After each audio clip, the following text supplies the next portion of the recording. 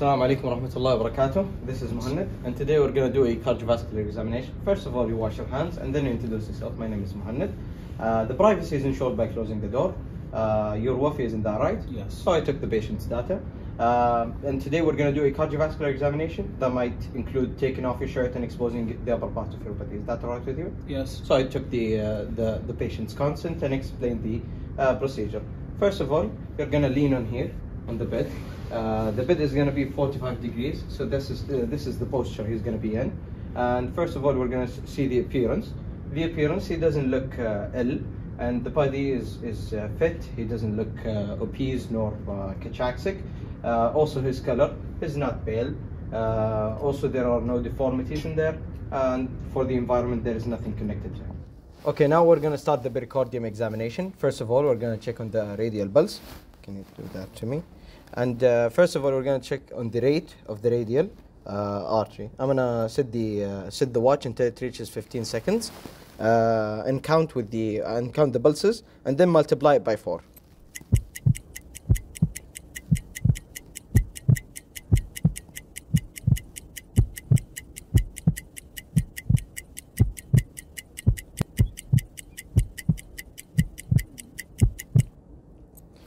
Was 19 pulses per 15 seconds. Then we'll, we, multiply by 4 and it reaches six, uh, 76 per minute.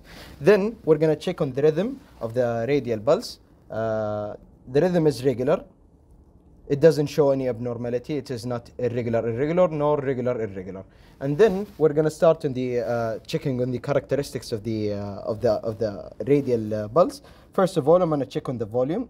While I'm doing the uh, the volume uh, the volume test, I'm gonna uh, I'm gonna ask the patient to lean there, and see his JVP to check if it was normal or not. Then we're gonna check on the uh, on the collapsing pulse. The collapsing pulse. I'm gonna put my uh, my my first hand on the on the radial artery, and the second hand on the end of the uh, on the forearm. And then I'm gonna start the uh, the the break uh, the the uh, yeah, make sure you don't uh, you don't put your hand on the brachial uh, on the brachial artery so that you don't get confused. Then I'm gonna do the collapsing pulse. I'm gonna raise uh, the patient's hand. I don't feel any uh, shift of the in the uh, in the pulse, so it's normal. And then I'm gonna do the symmetry uh, the symmetry uh, check. I'm gonna put my two hands, one one hand on the uh, on each uh, radial artery, and I'm gonna check there is no radio radial delay, so it's normal. Ideally, I would ask the examiner about the blood pressure of the patient, and it's going to be usually normal. Uh, then I'm going to ask the patient to take his shirt off. Can you take his shirt off? Yes. Starting with the inspection, I don't see any uh, any scars, any scars indicating any uh, surgery before or any pacemaker implantation. There is no uh, extra, uh, pectus and um there are no discolorations.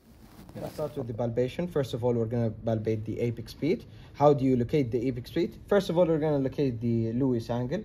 You can feel it there. This is the, uh, the Louis angle. You go to the left side of it, and then you feel the second drip. Uh, below that, you would feel the, uh, the second uh, intercostal space, and here is the third intercostal space.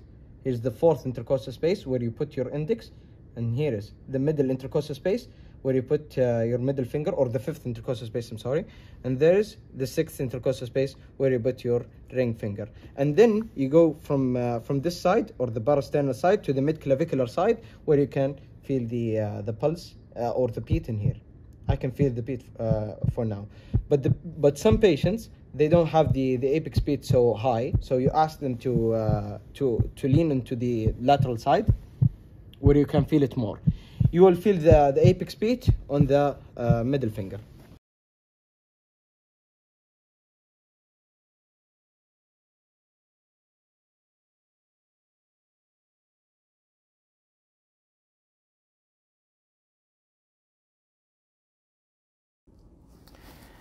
And now we're going to start with the thrills, but before we do that, we have to locate the the heart valves. First of all, we're going to locate the mitral valve, which is going to be in the mid-clavicular line on the fifth uh, intercostal space. On the same level, in the parasternal side, uh, there, there's going to be the tricuspid uh, valve, and then on the second intercostal space, you're going to find the uh, pulmonary uh, valve. And then on the on the left, uh, on the the right side of the patient, you're going to find the aortic valve.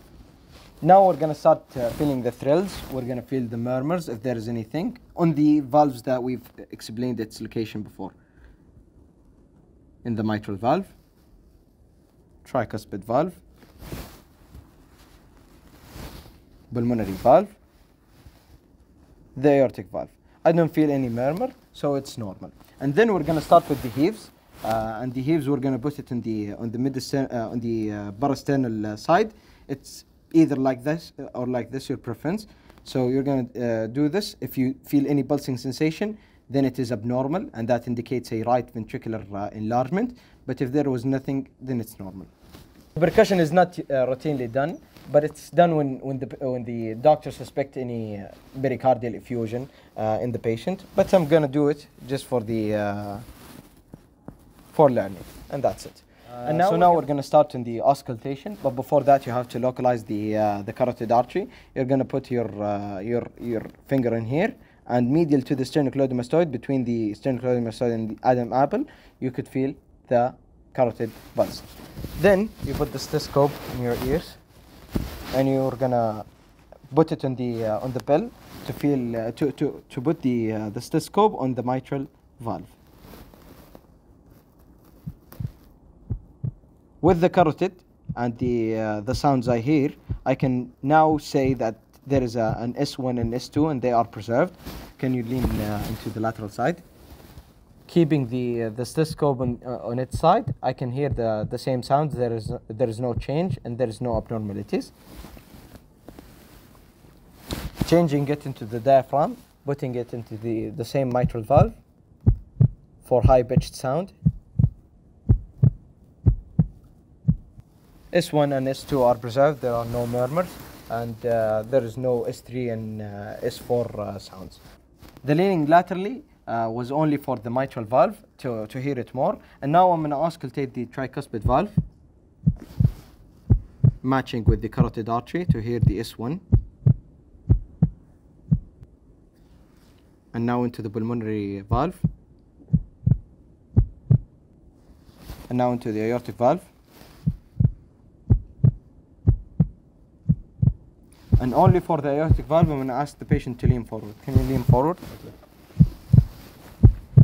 There is no change in the sound. Now I'm going to uh, auscultate the base of the lung in the right and then in the left. There are no crackles. Before we've checked on the precordium, We've uh, checked on the upper extremity recirculation by checking on the radial pulse. But now we're going to check on the lower extremity recirculation. First of all, I'm going to uh, ask the patient, is that okay with you to expose the, uh, yes. the upper part of the leg? Okay. So now I'm going to push firmly on the tibia for five seconds at least.